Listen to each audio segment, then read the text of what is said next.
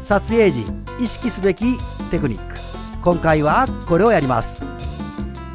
何かをやりながらしながらラジオ感覚でお聞きください。ボンジュールフォトチャンネルでは写真や映像に関する番組を配信しています。皆様のお役に立てたら嬉しいです。組写真を作りましょうということになった時撮影時意識しておくとぐーんと上手くなりそうなテクニックがあります。えー、まあ5点ほどいくつかお話ししたいと思います。単写真でも同様なことが言えると思います。1番目構図です。構図を知っていたり身につけていると撮影場所に行っても瞬時に撮影ポジションが決まります。ここはこの構図が当てはまるというように迷うことがなくなります。構図の一例にリーディングラインがあります。画面上に直線やスパイラルラインを入れる構図のことです。この構図は単純に美しく見せるという他にラインの先に車体や見る側を誘導する効果があります。この構図はですね意外に様々な場所に存在すると思うんですね。例えば自然の中の道またはいつも見慣れている道路建造物造形物など簡単に取り入れられたり作り出したりできる構図なんですね。構図の2つ目。3分割黄金比はポピュラーな代表で簡単な構図なんですね。バランスが良い安定した構図となります。ファインダーや液晶画面にグリッドラインを表示させて訓練確認もできますよ。額縁構図。これはですね見せたい被写体を何かで囲って見せることなんですね。例えばバックミラーの縁の中に運転手の目サイドミラーで囲って撮影者も撮れます。私たちの周りに多く存在する構図なんですね。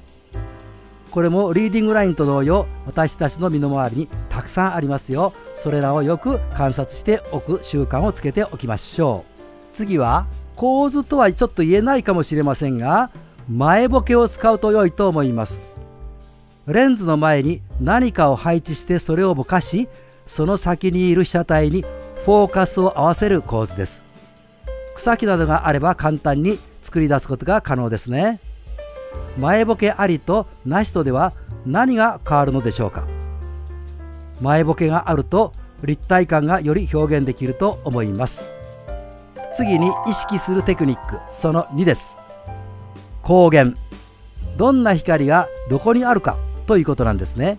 昼間屋外なら太陽。屋内なら照明です。撮影時にこの光源の位置を確認しておきましょう。写真の質感クオリティが全く変わります。例えばどう変わるのでしょうか。1番目太陽光の場合ですね。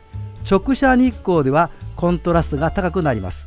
硬い印象にもなりますね。逆に朝夕の遮光や逆光ではふわっとした柔らかい表現。特に太陽が低い位置にある朝夕は映画のような印象的な写真になります。太陽光は順光ではなく横からもしくは斜め後ろから当たる位置で撮るとかなり効果的になると思います。さらに日中と夜の境目で撮るととっても印象的な写真になりますよ。例えば学校に行ったら放課後や下校時の時間帯で撮るととっても効果的になると思います。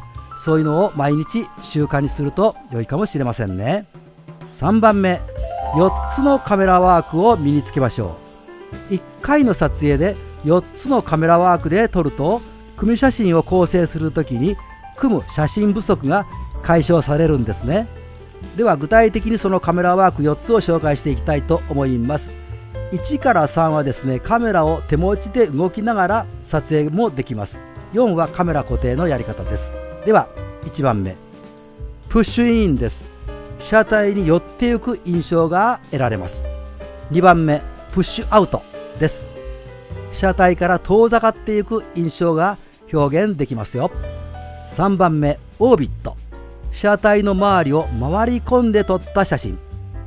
30度ルールとか時計の文字盤を考えて被写体が12時にあれば正面に当たる6時だけじゃなくて8時とか4時とかという横からも取ることを身につけておきましょう。4番目フィックスです。フィックスとはカメラ固定して定点で撮影することです。構図を意識して撮ってみましょう。今紹介した1から4があると組み方に緩急がつけられる編集ができるバリエーションが豊かになります。意識すべきテクニックの4番目です。引きミドルタイト。この3つがあると組み方にバランスが取れます。タイトは拙者だと考えてもいいですね。広角では構図などのテクニックが必要ですがタイトや拙者で被写体に最大限近づいて撮ると写真に没入感や感情をプラスさせることができますね。タイトに撮るときはその被写体の見せたいところを大きく撮り必ず三脚などカメラを固定して撮りましょう。テクニックの5番目。インサート。どういうことかと言いますと例えば自然なら葉っぱや花のようにその場の空気感雰囲気が伝わるもの。そういうものを撮っておくと良いかもしれません。組写真になぜインサート写真があったら良いのかと言いますとね全てのカットがメインの被写体だけだと変化が乏しくなるからなんですね。全くメインと関係ない写真ではなくその場の空気感温度感湿度感が伝わるものを差し込むことでエッセンスとなる1枚となります。これは撮影時の最後でもいいので撮っておくと良いと思います。23パターンのインサート写真を撮っておいてですねその中から1つか2つの写真に絞って入れると組写真がさらに良くなりますよ。これを意識して撮っておくと組む時に写真が足りないなぁと困ることはなくなっていくと思います。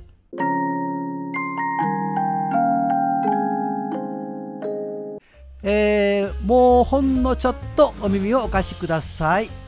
基礎の大切さと学ぶ順序についてお話ししたいと思います。これもラジオ感覚でお聞きください。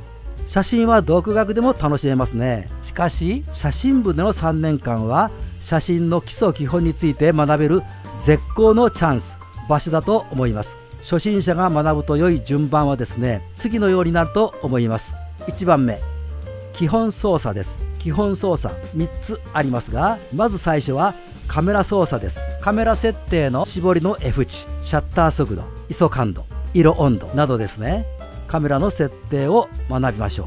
次に構図です。構図にはいろんな構図がありますが基本の構図をある程度知ったら次に画角について知りましょう。このカメラ設定構図画角の3つを押さえておくと基本のほとんどがそこに含まれますので是非これを学習しておいてください。これらの基本操作にテクニックという順で学ぶと自分の中の基準を保ちながら表現の幅や引き出しが広がると思います。使いやすい写真が増えますよ。例えばぼかしたらかっこよいと F 値を小さくした写真ばっかり撮ってしまうと単純にレンズ性能やテクニックを見せるだけの写真になってしまいます。伝えたいことが伝わらなくなってしまいますね。学ぶ順番は基礎基本操作。ABC プラステクニックになると思います。三脚は構図を確認できるアイテムにもなると思いますよ。今回のお話は以上です。